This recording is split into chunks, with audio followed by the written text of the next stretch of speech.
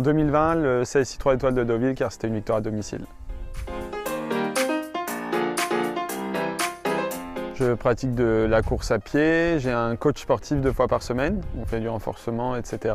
et un petit peu de tennis. Euh, Mbappé.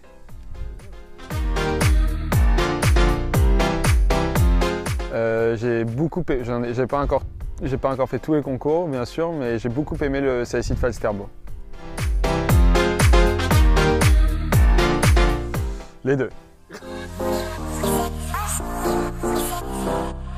J'ai pas vraiment de préférence, il y a des concours extérieurs que je trouve exceptionnels et pareil pour des concours indoor, donc je prends vraiment de plaisir à, essayer d'être compétitif sur les deux circuits. Je suis pas très cocktail, euh, une DSP.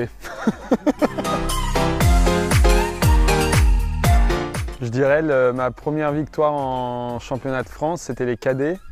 Et ce qui était drôle, c'est que euh, avant de rentrer en piste, ma coach de Sophie Coutureau m'avait donné tous les points techniques du parcours.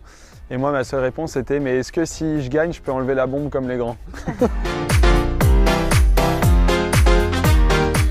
J'espère euh, dans le haut niveau et avec un système euh, de sport, de commerce et de formation de chevaux qui ressemble à quelque chose.